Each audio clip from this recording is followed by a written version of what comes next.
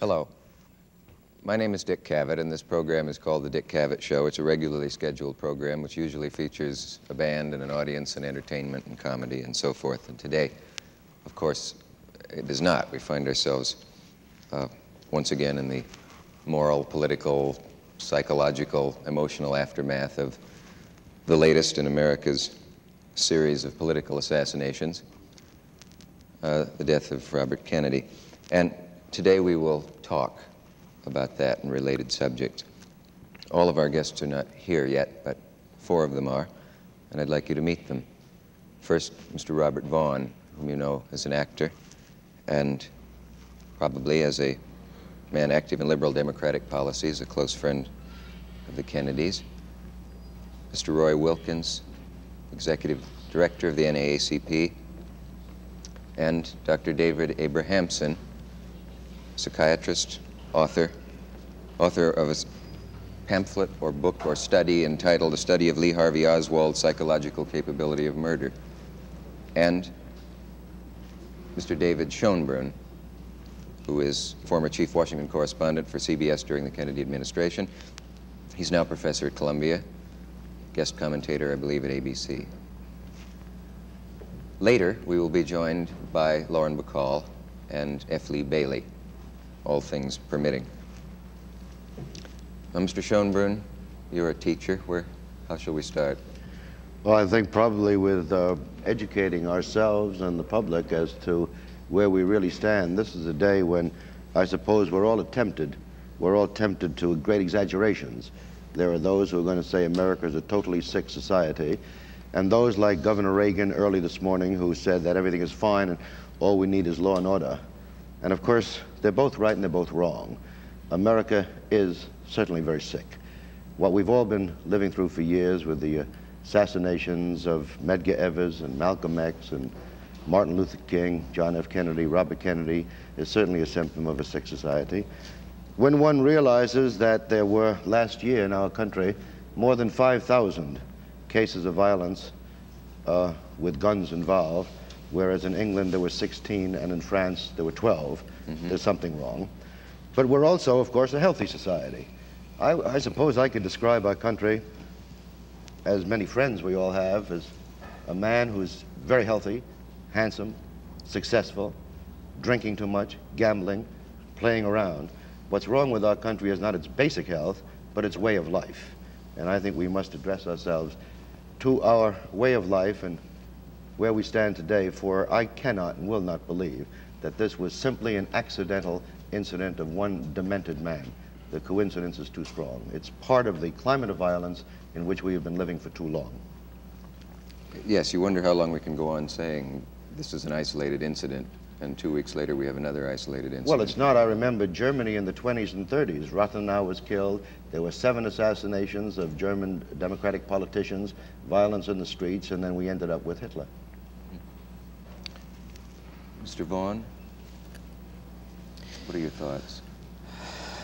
Well, I subscribe to what Mr. Schoenbrun has just said, that it is part of both concepts that there is a healthy America somewhere beneath the drunken and violent America.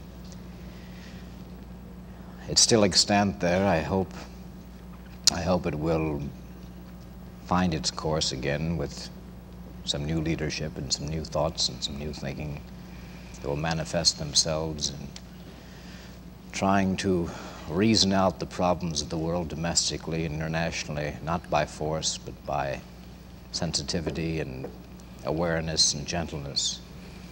It seems that the gentlemen that Mr. Schoenbrun mentioned, who have fallen under the assassin's gun, Adlai Stevenson, who was attacked viciously just before Dallas, seemed to have been the object of the conservative point of view. And I would hate to label or categorize all of these situations, and some of them are still dubious. Martin Luther King, case in point, as being simply the manifestations of homicidal drives of the extreme right, but it seems to be clearer with each subsequent assassination that it, there is evidence in that area.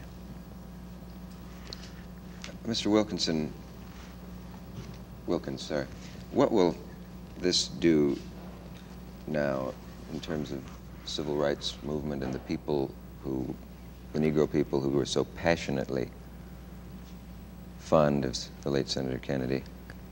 Where will that passion direct itself now? Of course, a great many of them were passionately fond of Senator Kennedy, as you have uh, indicated. And uh, many uh, voted for him in the primary, and many worked for him in his campaign.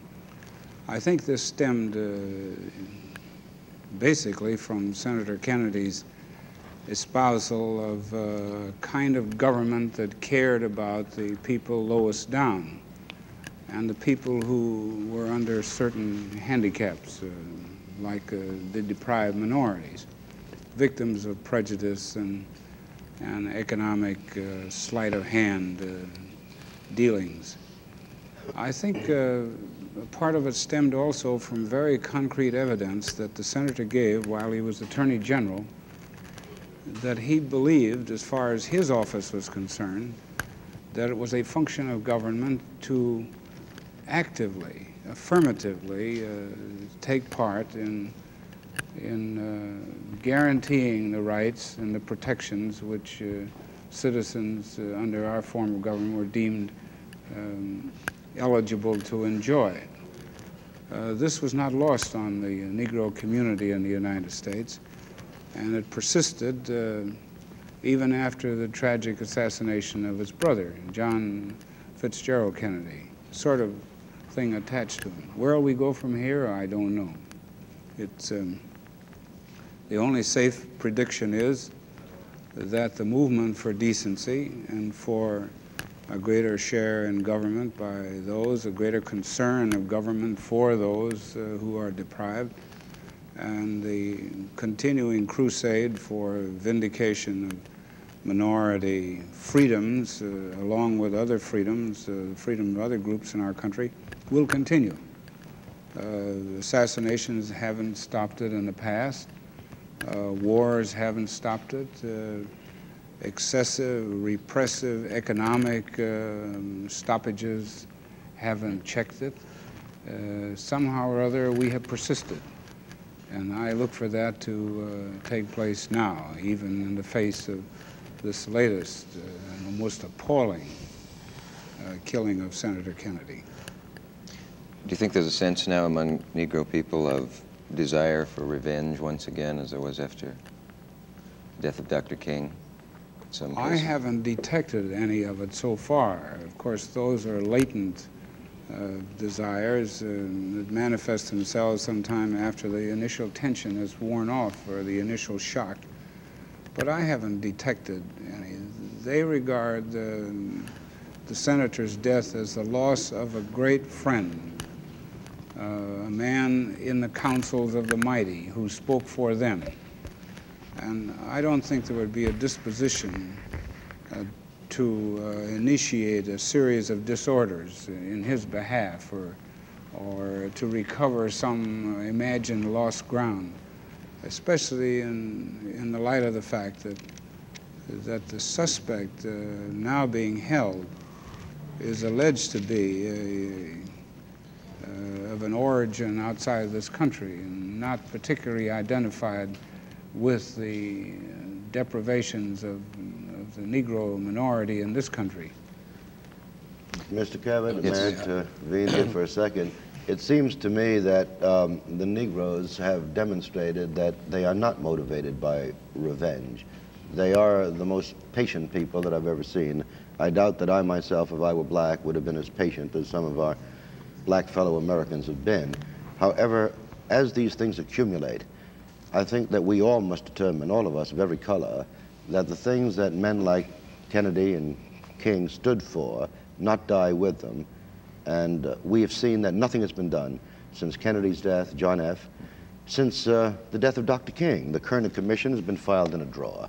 Now, I really think the time has come for every single American citizen to make sure that the assassin's bullet doesn't shoot down with the man the thing that the man stood for, and that we all must stand for if our nation is going to survive.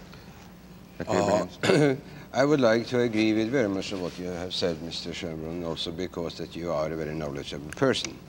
Uh, you mentioned here something about that the, uh, you, you don't think really that the American society is sick, or some, some words to that effect. Well, I'm sorry to disagree with you. I think that there is a great deal of emotional and social sickness in American culture. And before we even can think of stopping violence, we really have to look for the causes for it. You know, I mean, just like a medical doctor tries to help a patient, he has to examine him first and see what kind of symptoms does he represent, what uh, kind of help can we give him. And when I look at the American scene, uh, there is no doubt about that we have had violence since uh, early times. Uh, uh, of course, this uh, and nobody really likes to know that the first man who was hanged in the United States was in 1630. His name was Billinger, and he was a passenger of the uh, admired Mayflower passengers, Mayflower ship. And we have been having all this violence going on time and time and again.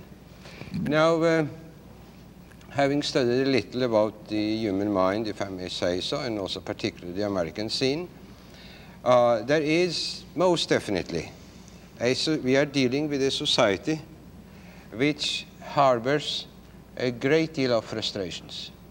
And these frustrations here, in contrast to many other countries, are much more prevalent than in any other society for one reason only. This, our America, is the most affluent country there is in the world. If you uh, can find your way around here, you can do everything what you please almost. That means that you can get money and you can get power.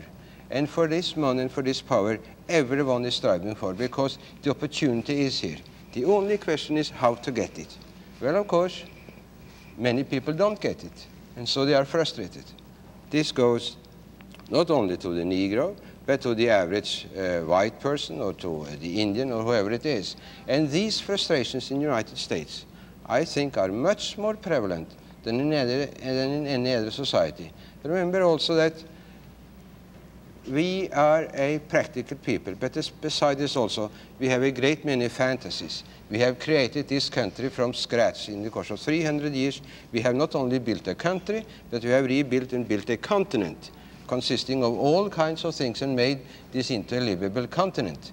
But in doing this, we have stretched ourselves so far that, and we thought in our uh, omnipotence that we could do everything and we can't do everything. We have not been able to see our limitations. Uh, I don't want to say to sound in any way moralistic and so on, but uh, I read some time ago the Kerner report, and the president, with all due respect to him, haven't said one word. There are no recommendations about it, and yet this is a burning question a burning thing which should have been done at once, and instead, as you very correctly said, Mr. Schoenbrun, it has been put in a file. I was surprised to find in that Kerner uh, uh, uh, book, may I please continue, mm -hmm. that, for instance, uh, unless we stop, uh, the, this society is moving to two societies. Well, I'm sorry that the Kerner people there must have been sleeping all their life, because we are two societies. We are a black society and we are a white society. And the Negroes have not been permitted to participate in American life. They are not, have not been per, permitted to participate in, in the mainstream of American life. And I think the reason is very simple. Although it sounds very simple, I hope you forgive me for my being simple today. Uh, it is really a question of power. And this goes for the individual, it goes for the class. Remember one thing here. We don't have many traditions in the United States. The only tradition we have really is money and power. And it is around that everything circles. There is no class, no tradition. And because of this, the, our society is exceedingly unstable. There is no stability. Where shall you then turn to? Every individual feels insecure and fearful, and with fear comes hate. and with hate comes violence. violence. And it's because of this, uh, I think that we have all these uh, horrible uh, killings and murder. And by the way, if you don't mind, uh, Mr. Schoenbrun, I must say this to you that in all friendliness, that there were killed last year in America 12,000 people. 12,000 people. Which is over, uh, which is 10 times as many as in England, not to speak about in Scandinavia. And one reason for all this killing is, as you certainly know, and I think you pointed this out, is that possibly 60 to 70 percent of all our killing is done with a gun. Now look here, for instance, with regard to the National Rifle Association. They are against, they are against uh, uh, licensing because it might infringe upon them. We are living today in 1968 in a country, and we should now have stopped these pioneering days and these frontiers. But still, we linger on. We live in the, in the dreams of the Wild West, that everyone can be a big man, and with all, with all this come these uh, frustrations and these fears leading to hate and violence. And so before we can do anything. It is very good to have wishes. It is very good to sit down on such a very sad day today. It is. And I'm sure that all of you have been up late this morning, early this morning and early yesterday, and we are all confronted with a horrible situation, with a horrible assassination again. And we really should, as you said very correctly, try to sit down here. But really, we have to look for the causes before we can begin any remedies. I'm sorry to have taken such a long time. It's all right. Vaughn, I know you're concerned very much with our foreign policy, and I've heard you speak about it in other programs. And we've been told in the last couple of days by some of the, uh, in the last 24 hours, by some of the national figures who have said, in effect, we are not so guilty. We've also been told that it's meaningless to make a parallel between a nation's foreign policy and individual acts of violence within our country. Is it so meaningless a parallel? Is well, it may not be a black and white parallel, but it is certainly not meaningless.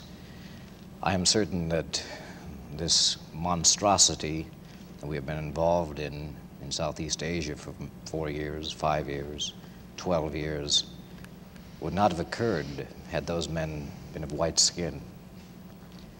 I'm quite certain that the entire concept of alienation from society that produces if that was the man Oswald, if Sirhan, Sirhan was the man, the Erich Fromm, Hannah Arendt, Eric Hoffer concept of true believer in relation to not being able to identify with self and therefore finding causes uh, that will produce an individual case and place in history can be related very often to the to the racist or to the individual himself, to the physical individual. The assassins have been deeply disturbed people in the past. They have often been small. I, am getting into your area, Doctor. That's all right. They have often been small. They have felt alienated from society. Oswald felt alienated from the America that was affluent.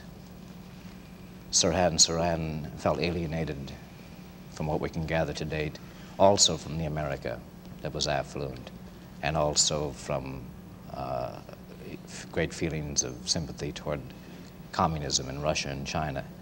I think that it is not meaningless. I think that there are very close parallels. I do not think that the war that Mr. Schoenbrun and I have spoken against for many years would have gone on over this incredible number of years had it been a war between Americans and Canadians, Americans and white-skinned, blue-eyed Germans. But we look at Vietnam, and they are little people, and they are not the leaders of the world. They are not the white men of the world who we believe have the right and responsibility for leadership in the world. So I think there is a parallel, if not complete, certainly significant. I think that there's another parallel, if I may say so, and it's a very painful thing for any citizen to have to contemplate. We all, we all want to admire our president, who is the symbol of leadership of our nation. But I must say that I felt for a long time that one of the most violent men in the world is the President of the United States.